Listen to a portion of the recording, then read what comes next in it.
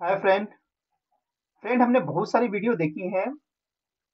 Web server कैसे configure करते हैं? नॉर्मली जो हम वेब सर्वर कॉन्फ़िगर करते हैं विंडोज़ सर्वर फैमिली पे करते हैं। करेक्ट? हमने भी बहुत सारी वीडियो बनाई हैं इसके बिहाफ पे, कि I S server, web server क्या होता है, उसको कॉन्फ़िगर कैसे करते हैं, मल्टीपल वेबसाइट कैसे क्रिएट करते हैं अपने सर्वर पे। आज हम इस वीडियो में देखने वाले हैं थोड़ा मान लीजिए आपके पास सर्वर नहीं है तो क्या आप वेब सर्वर यूज़ नहीं कर पाएँगे? डेफिनेटली कर पाएँगे। अगर आपके पास डेस्कटॉप मशीन है विंडो 10 है विंडो 11 है तो उस पर भी आप वेब सर्वर कॉन्फ़िगर कर सकते हैं। तो दोस्तों, आज हम वीडियो में यही सीखने वाले हैं कि हम वेब सर्वर कैसे कॉन्फ़िगर करें अपने विंडो 10 मशीन पे विंडो 11 मशीन पे। इवन वेब सर्वर के साथ साथ F server directory browsing server कैसे कॉन्फ़िगर करेंगे? लास्ट वीडियो में भी हमने देखा था कि डायरेक्टरी ब्राउजिंग सर्वर कैसे कॉन्फ़िगर करेंगे एच के थ्रू ठीक है?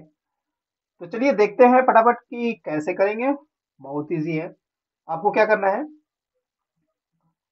यहाँ पे अब देखिए आई नेट एम पहले मैं दिखा देता हूँ। देखिए, ये खुल नहीं रहा। आई नेट होता है internet manager internet information service web server manager होता है ठीक है? तो अभी हमने क्या करना है यहाँ पे चलाना है आपको एप्लीकेशन विजार्ड कंट्रोल पैनल ठीक है? या तो आप इसके थ्रू चला सकते हैं ठीक है? आ, या आप चाहे तो यहाँ पे कंट्रोल पैनल में जाएँगे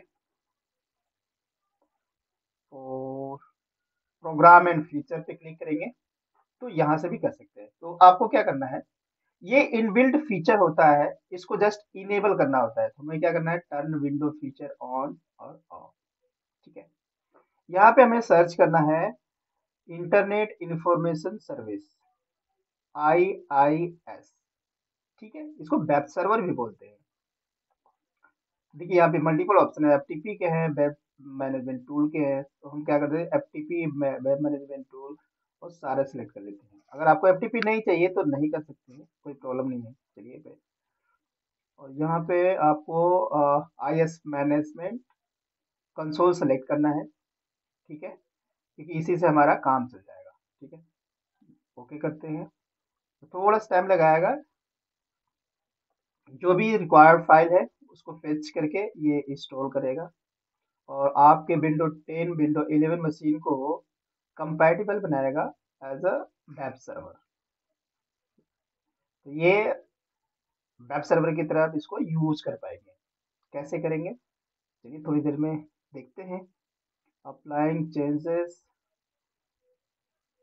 तो hardly five to ten minutes लगाता है। इट्स अप टू मतलब जो भी आपकी कॉन्फ़िगरेशन है, जिसके हिसाब से सिस्टम की।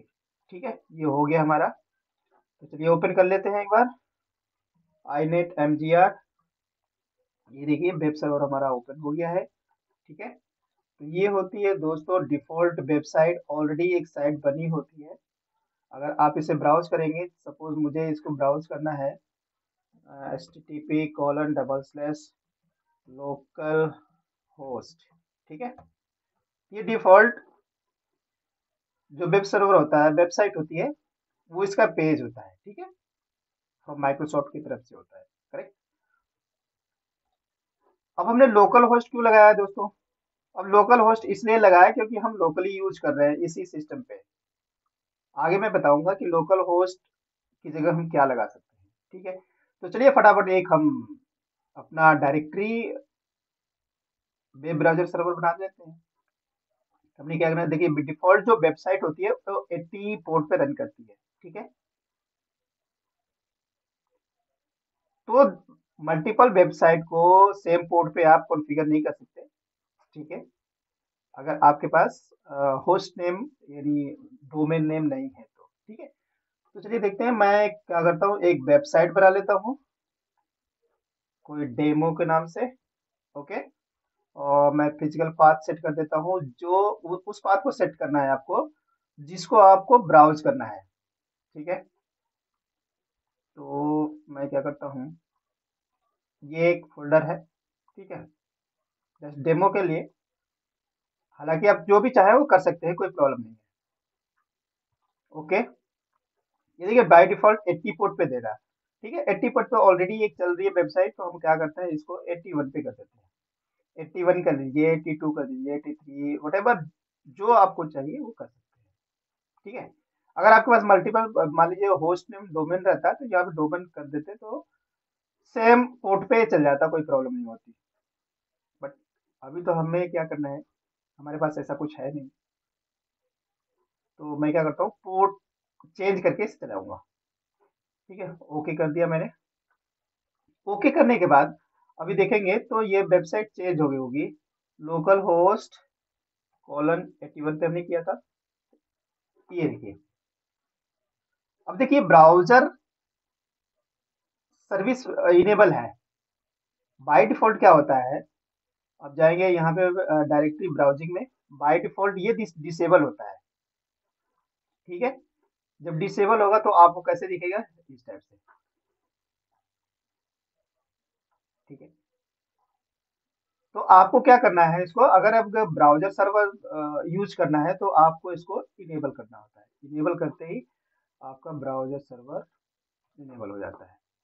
जो भी उस डायरेक्टरी में फ़ाइल फोल्डर होंगे, वो आपको दिखने लगेंगे इस टाइप से कुछ। ठीक है? तो दोस्तों, ये है आपका directory browsing server through H अब देखिए लोकल होस्ट हमने लगाया। लोकल होस्ट की लोकल होस्ट केवल उसी सिस्टम पे चलता है जिस जिस सिस्टम पे आप बैठे हो। ठीक है? मान लीजिए इसी वेब सर्वर को डायरेक्टरी वेब सर्वर को किसी इसी नेटवर्क में कहीं और से चलाना है या वर्ल्ड वाइड कहीं और से चलाना है तो आपको क्या करना पड़ेगा? इसकी आईपी के थ्रू करना पड़ेगा। तो सबसे पहले चलिए हम चेक कर लेते हैं कि हमारी आईपी क्या है। आईपी आईपी कॉन्फ़िग ठीक है? तो आप देख पा रहे होंगे, ये है हमारे सिस्टम की आईपी इसको हमने कॉपी किया। लोकल होस्ट की जगह हम उस आईपी को पेस्ट कर देंगे और देन एंटर करेंगे। तो नाउ लुक एट इस आईपी के थ्रू आप नेटवर्क में कहीं से भी एक्सेस कर सकते हैं। करेक्ट तो आई होप कि आप लोगों को समझ में आया होगा कि डायरेक्टरी ब्राउजिंग सर्वर क्या होता है थ्रू एच और अपने लोकल सर्वर को I mean local desktop machine को एज अ वेब सर्वर कैसे यूज़ कर पाएँगे। अगर इससे रिलेटेड आप लोगों के कुछ क्वेरीज हो तो आप लोग मुझे कमेंट कर सकते हैं। ठीक है? तो दोस्तों नेक्स्ट वीडियो में मिलते हैं नेक्स्ट टॉपिक के साथ।